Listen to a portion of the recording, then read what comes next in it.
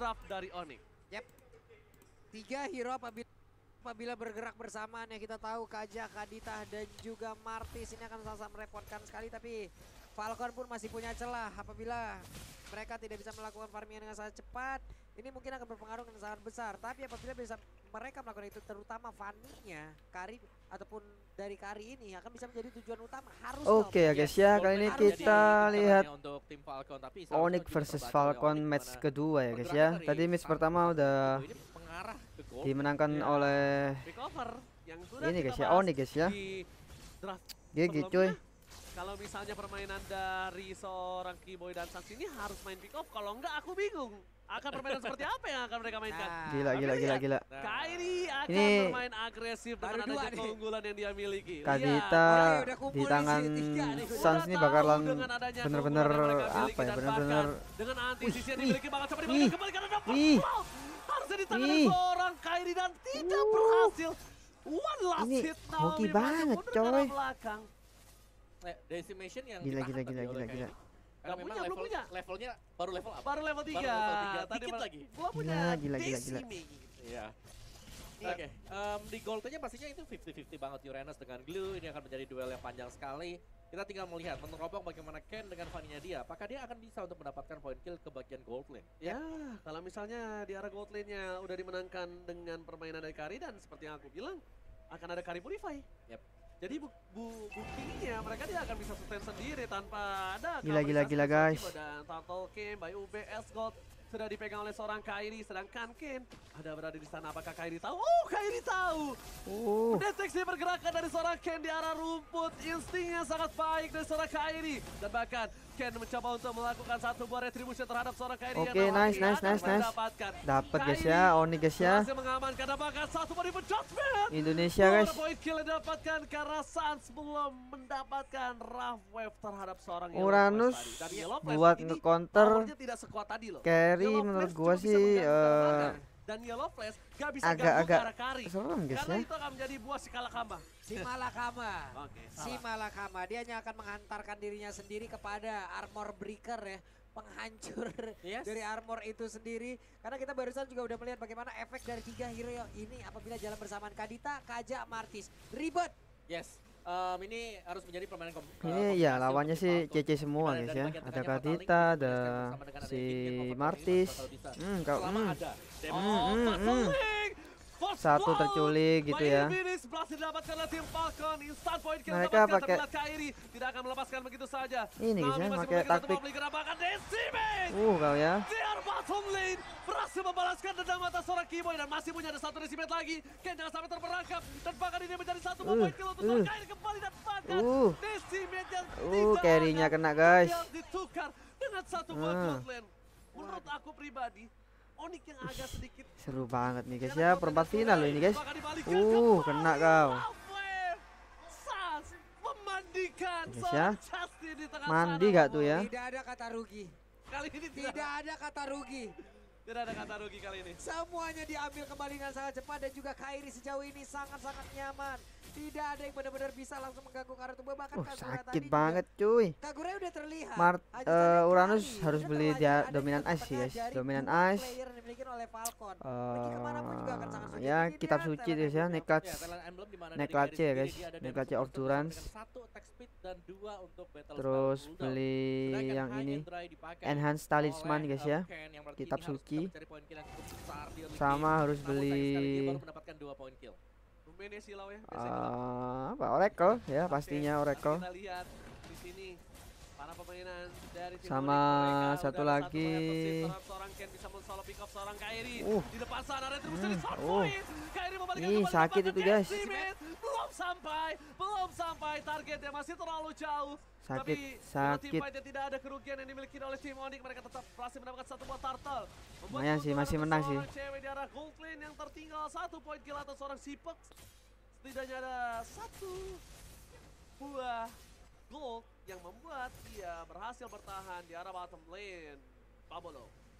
Oke, itu dia teman-teman ya. Martis, sangat-sangat nyaman. Namun Hmm. sekarang Fanny-nya berusaha untuk bisa bergerak maju ke bagian depan Hmm, tapi lari. sekalinya dia maju saja ke tengah-tengah pemain dari Onyx itu setengah dari Hmm. deretan SP-nya juga udah lenyap. Fanny Mau guys ya, cukup tricky. Fanny Core melawan tiga hero CC kayak gini guys ya. ya. Dari.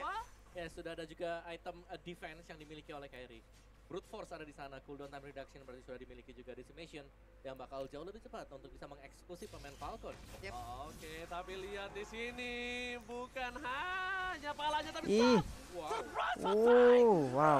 Ih. satu. Masih ada satu Hmm, sakit itu, guys. Hmm, oke, nice. Pasifnya Marah Oh, flicker. Nggak ada yang mati, guys. Hmm. Berhati-hati. Cewek Hmm. bakal bisa Hmm, dipasang dengan Ina hmm, Morton. hmm, hmm, Dibalikan hmm. kembali keadaannya. Masih nekat dia, guys. petaka untuk masuk lebih dalam. Gila gila gila. Lagi Nyali, dibalas nyali ya guys ya. Falcon tidak berhasil ditumbangkan.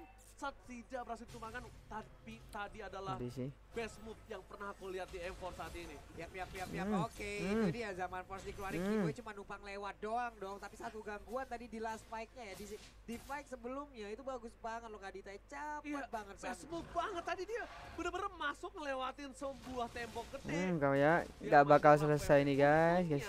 Zipex-nya masih bisa loncat. Coba dia nggak ada chrono kelar. Ya karena memang langsung di ini ya. Kalau dari segi rotasi sih lebih enak glow ya guys ya. Tapi kalau dari segi sustain sih menurut gua Uranus lebih sustain, guys. Tapi masalahnya lawan carry, bro. Push it's coming. Ken susah Naomi banget. yang menjadi pilihan utama tapi lihat terberakap. Instant point kill dapatkan oleh seorang cewek. Dengan satu body Nggak bisa. Naomi mencoba untuk melakukan satu buah fataling itu akan menjadi kerugian karena bisa di follow up dan saat Rawweb sang Sakit banget, cuy. kali ini membuat seorang Naomi tenggelam di dalam lautan Land of Down. Nggak Yap, bisa cuy, itu ya, kaditanya udah sakit, seorang tank aja orang coy. lagi yang di depan untuk bisa memancing semuanya agar berkumpul. Tapi apalah daya, ini dia deretan itemnya dia. Ayo re, ayo ayo ayo ayo ayo. Ya, Athena Shield sudah dimiliki oleh Kaza. Um, respect ya dengan magic damage yang Uranus. Pakai oracle dulu habis ini dia ke dominan ice. masih kurang untuk Ken bisa melakukan instant um, point kill ke Onyx. Si yang bisa pakai oh dengan full tank guys ya. Saatnya apa? Split push. Split. Tahan dulu sekarang. Udah itu doang yang bisa dilakukan oleh Fanny-nya. Yap. Terlalu strong untuk mencoba mempick off pergerakan dari tim Onyx dan bakal lihat Kairi bakal coba untuk menginvasi jungle yang dimiliki oleh pergerakan dari tim Falcon. Masuk ke arah Purple Buff dan ini akan menjadi Purple Buff untuk Kairi nampaknya. For sure. Dan ingat, Tanpa Purple Buff seperti aku tanpa kamu. Tak akan percaya Oh. Pataleng. Dipalaskan dan ditutup oleh Raven. Counter attack from Sat. Berhasil menutup tim fight yang terjadi. Falcon harus mundur ke arah belakang. Dan Kairi. Still survive. Oh my god. Counter yang dilakukan oleh Suns itu sangat sangat Wow. baik Opung Wawa. Fataling, semua orang berkumpul di sana dan itu saatnya untuk Rafael.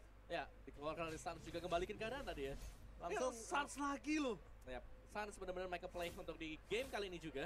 Terlepas daripada memang dari Fanny-nya di sini berupaya untuk melakukan split push secara terus Iya sih, eh permainan Kadita dikumpulin ya enak sih. Draft picknya Onyx nih seneng Yap. banget gua guys. Sebenarnya dengan split push juga masih ada sedikit keuntungan lagi yang bisa didapatkan ya. Kenapa karena High Endra yang udah dia bawa pula, tapi dari sisi levelingnya nih. Sisi Yes. leveling lain nggak bakal ngedukung dia. Oke, berarti aku sekarang lebih ngerti lagi nih kenapa dia pick Adita. Bukan main pick over. Dia counter atlasnya. Dia counter atlasnya di sana. Langsung rough wave. Iya. Oh Aldo, Aldo, Aldo. Menarik kamu Aldo. Makanya kok dengan Kadita aja dia nggak main pick over. Oh counter atlasnya. Ini si carry-nya nih ngebuff terus guys ya. Kan kita tahu Sedangkan pemikiran Martis dia, ini cuma ngecece doang, guys, ya. tahu. Langsung kita salamin aja Biar si di ya. Oke. Fanny-nya nggak bisa gerak Ini dia guys. Uranus, inilah yang smoke bomb yang kita maksud. Atlas sangat butuh satu orang di depan untuk mencari siapa saja yang ada di Nah, area Kadita nih. Kadita, Kadita, Kadita San. Pula. Coba lihat Kairi dengan adanya Mortal Coil langsung dikeluarkan. Sans memotong Naomi agar tidak bisa melakukan pergerakan jauh lebih dalam lagi. menghindari satu buah cutthroat dengan satu buah rampaf keputusan yang tepat dari Yellow Flame. Oh. Instant point kill, cewek Sakit, cuy.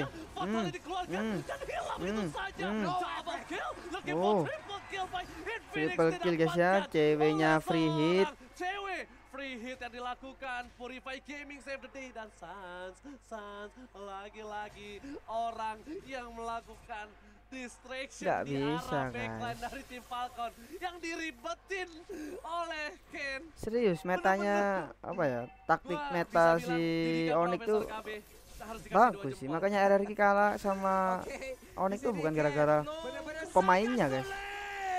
Tapi hampir saja. Pemainnya sih masih Bisa biasa aja, guys. serangan. What? What? Ya kan? Bener bukan? Ya kan? Orang yang merepotkan yang membuat tim Falcon pusing tujuh keliling untuk bisa bertahan di match ini yaitu Suns dua game secara berturut-turut didikan Profesor KB memang beda Keyboy guys ya. Dengan kaditanya berhasil hampir melakukan solo pick up di arah top lane. Tapi bukan hanya itu dia mendapatkan impact yang lebih banyak. Dan Suns memancing Gingang Overturn free. Nggak ada Gingang Overturn untuk seorang cewek. Team fight di arah tengah harusnya dipegang oleh tim Onyx. Tapi cewek tidak punya purify. That's why mereka kayaknya memilih untuk mundur deh Bung. Ya, em, ini agak sedikit em, tarik ulur mungkin ya untuk Onyx sendiri karena ya mereka tahu kalau mereka memang memaksakan untuk naik ke atas. Di sana ada Atlas yang bisa tiba-tiba ngembalikin keadaan. Jadi dari tim Falcon sendiri mereka bergantung untuk Atlas yang melakukan inisiasi. Sembari menunggu untuk adanya Ken, ini split push aja terus-terusan. Dari sisi Onyx Esports. Ini kalau Onyx udah menang guys, dia udah power sekarang masuk ke late game seperti ini. lanjut ke babak semifinal guys ya. mereka tinggal nunggu dalam rumput dan berusaha untuk memancing ngedistract aja. Kalau memang ini lagi sepi dari minimapnya, sebenarnya Falcon mereka agak sulit juga untuk bisa keluar dari base.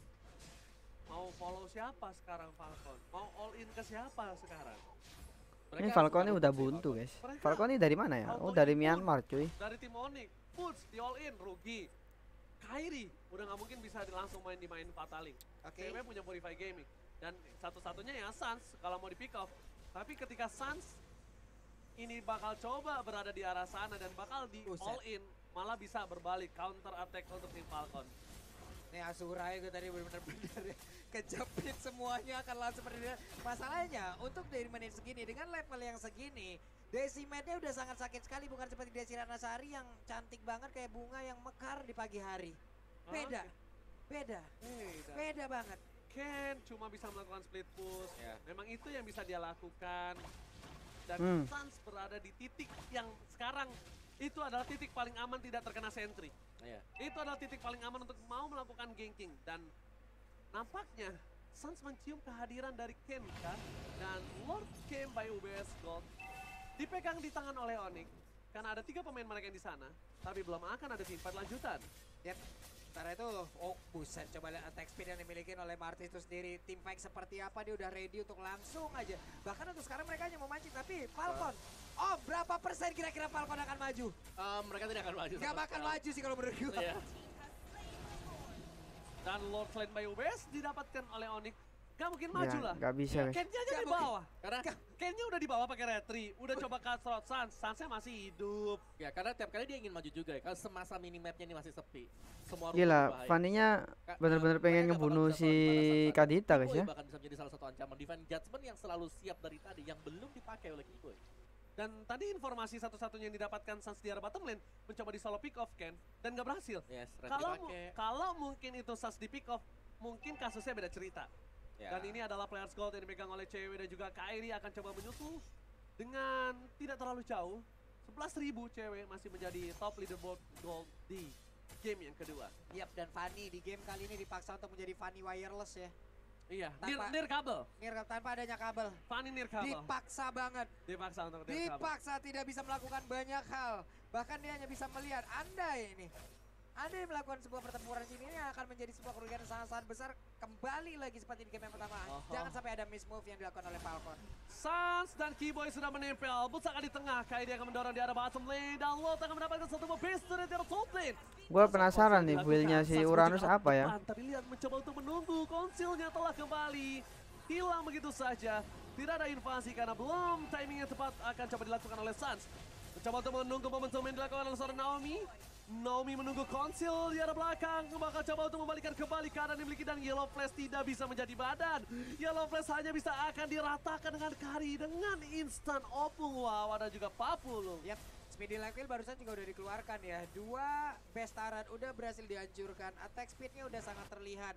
Uranus. Ini Uranus kayaknya nggak nggak beli kitab suci guys ya. Ini, Ya. ini namanya permainan DJ cewek on the floor. Uranus, ah ini habis ini beli kitab suci nih dia guys ya. Main DJ, DJ cewek on the floor. melempar gear, Pak. Oh, iya. Lempar gitu ya. Dengan item-item attack yang dimiliki oleh cewek. Corrosion ada Golden Demon Hunter Sword dan juga dua item defense. Salah satunya juga bisa menjadi item attack. Yap. Ada Rose Gold Rose Gold. Meteor. Respect terhadap Kagura, tidak bisa instant kill, absorb damage, dan Athena Shield dan boost. Coba di all in, hanya menjadi sebuah malapetaka untuk tim Falcon. Mungkin, mungkin tim Falcon bisa harus lebih reset lagi.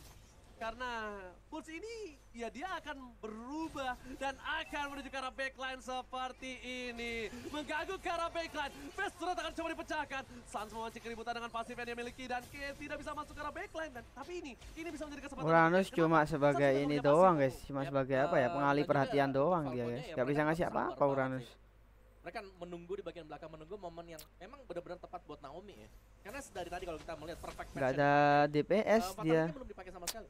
Jadi waktu ada perfect match-nya masih mencari-cari situasi dulu ini ada di mana sekarang dan Lord kembali muncul presented by UBS Gold dan ini bisa menjadi salah satu Lord penentuan juga meskipun memang belum evolve Lord. Ah, ketahuan. Mencoba untuk melakukan flanking, tapi terlihat posisinya oleh seorang Boots. Membuat cewek langsung respon dengan cepat. Yellow flash gak bisa menjadi badan yang Pak Pulung bilang menjadi smoke bomb. Dia hanya menjadi korban.